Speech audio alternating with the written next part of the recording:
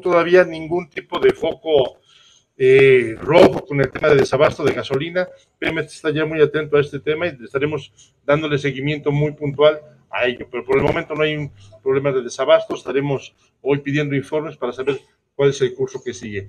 Y con